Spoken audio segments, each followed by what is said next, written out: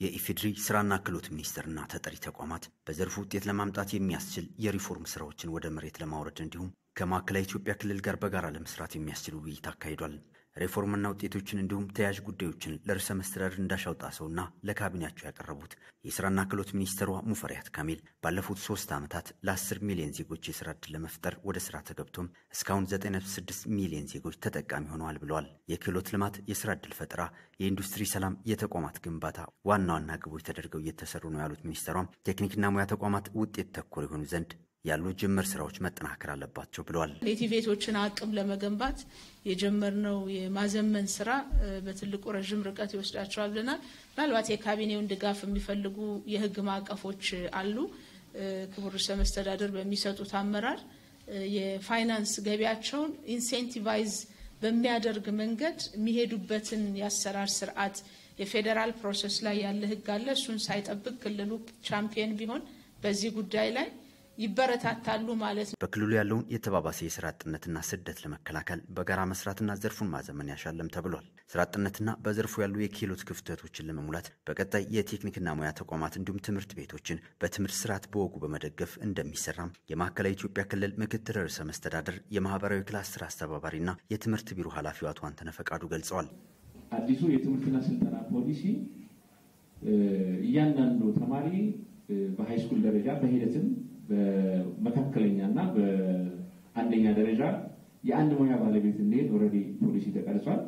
ከ2017 ዓ ም ጀምሮ የ11 ክፍል ተማሪዎች 12 የትምህርት አይነቶች ቀርበዋል። ከዛ ውስጥ ቢያንስ የአንድ ሙያ ባለቤት እንዲሆን እድል የሚፈጥር ነው። ስለዚህ ከ11 ክፍል በሂደት ከ10 9 እያለ ሲወርድ ወደ ሙያ ትምህርት የመግባት የተማሪ ፍላጎት ይጨምራል definitely በ2016 ዓ ም በዘርፉ በተሰራው ስራ ውጤት ቢመጣም ቀሪ ስራዎች ይጠይቃሉ ያሉት ርዕሰ መስተዳድር እንዳሻው ጣሰው ክልሉ የርብርብ ስራዎች አድርጎ ከያዛቸው ዘርፎች ውስጥ የስራ ዕድል ፈጠራው አንዱ መሆኑን አንስተዋል። በዘርፉ ቀጣይ መጠናከር ያለባቸው ጉዳዮችንም ገልጸዋል። ለወደፊቱ ማጠናከር እንሄዳለን። አንዱ በሀገር ደረጃ ለእድገታችን የተቀረጹ ፕሮግራሞችን ስቴት ማድረግ ይሄ በሀገር ደረጃ የተቀረጸ ፕሮግራም እየተውን የአካባቢ local የሆኑ ነገሮችን ብቻ እያየን የምንሄድ አይቻልም። ተሰናስሎ መያያዝ መቻል ሁለተኛ እይታ ማስተካከል ነው። እይታ እይታ ማስተካከል ማለት አዳዲስ ሀሳቦችን ማስገባት፣ ማስረጽ። መጀመሪያ መውሰድ ነው። ከወሰድን በኋላ ደግሞ ለሚቀጥለው አካል ኢንከልኬት ማለት እንዲሰጥ ሰው በትምህርትነት ወስደናል። ሶስተኛው በፍጥነት በጥራትና በመፍጠር መውጫ መንገዱ ላይ ክልሉ ከፍተኛ የሕዝብ ጥግግት ያለበትና ለስራ አጥነት የመዳረግ እድሉ ከፍተኛ ስለመሆኑ ያነሱት ሚኒስትር ወይዘሮ ሙፈሪያት ካሚል የመልማት ጸጋን መሰረት ያደረገና ገበያ ተኮር ስራዎችን መስራት ያሻል ብለዋል። በማዕከላዊ ኢትዮጵያ ክልል የተጠበቀውን ለውጥ ለማምጣት በጋራ እንደሚሰራም እንዲሁም ቢያንስ ዛሬ ካረግነው ውይይት ግብርና ላይ ያለው potential ወጥቷል። manufacturing ላይ ያለው potential በደንብ አይተናል። ቱሪዝም ላይ ያለውን potential አይተናል። ICT ላይ ያሉ potential ኦችን አይተናል።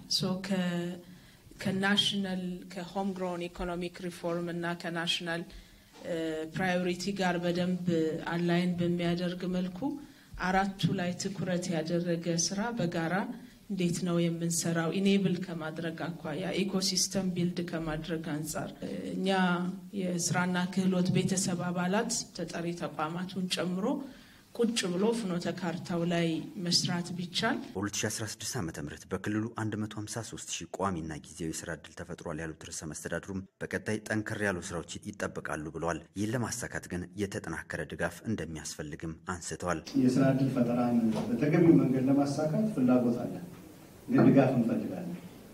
ታግዙም ብለን የምናስበው አንዱ የማይንድ ሴት ጋር ተያይዞ የተነሳው ጋር ማንም ሰው ሰው ስራ የሆነ ነገር ማየት የለም። ግን እንዴት አድካሚ ስራ ስለሆነ አድካሚነቱ በአግባቡ ተረድተን ተስፋ ሳንቆርጥ ብለው መስራት ይገባል። በቴክኖሎጂ የተደገፈ የስራ ዕድል ፈጠራ እንዴት ነው እንዴት ነው መስራት እንዴት ነው መስራት ያለብን ቅድም የተነሱ ጉዳዮች አሉ። ይህም በስልጠና ጋፑ ይሸፈን ይመስለኛል። የክህሎት ልማት፣ የቴክኖሎጂ ሽግግርና የስነ ምህዳር ግንባታ ስራዎች ይሰራሉ ያሉት ሚኒስትር ወይዘሮ ሙፈሪያት በየደረጃው ያለው የአመራርና ባለሙያ በትኩረት ሊሰራ ይገባልም ሲሉ አንስተዋል። ከአመራሩ ጀምሮ በየደረጃው ያለውን የሰው ኃይል ማዘጋጃ ቤታዊ አገልግሎቶችን ጨምሮ ሙያተኞችን ወደ ማህበረሰቡም ገብቶ ለምሳሌ ግብርና ላይ የ agropreneurship DA ዎችን ጨምሮ agri as a business በደንብ ማየት የሚቻልበትን ስርዓት ለመዘርጋት የሚያስችል ስራ መስራት የሚቻልበት አርሶ አደሩን በተለይ በራሱ effort እየወጣ ያለውን ትንሽ ድጋፍ ተጠቅሞ አቅሙን እያባዛ ያለውን አርሶ አደር ቅድሚያ ሰጥተን again agri as a business ወይም agropreneurship ላይ ሰፋ ያለ ስራ ምንሰራበት በዚህ ውስጥ የዩኒቨርሲቲዎች ሚና የ TVET ኦችን ሚና አሁን በጀመርነው መልኩ ይበልጥ አጉልተን ይሄንን ራሱን ሪጅኑን አንድ ecosystem አድርጎ ግን within that ecosystem sub ecosystem ኦችን መፍጠር የሚቻልበት እና ሁሉንም player ኦች አንድ ላይ ማምጣት የሚቻልበትን ስርዓት ይሄ ራሱን የቻለ ስርዓት ነው ማለት ነው። የተደረገው ውይይት መሬት ረግጦ ትግበራ ላይ ከዋለ የተሻለ ለውጥ ይመጣልም ተብሏል። በዕለቱ የክልሉ ካቢኔ አባላትና የስራና ክህሎት ሚኒስቴር እንዲሁም ተጠሪ ተቋማት አመራሮች ተገኝተዋል።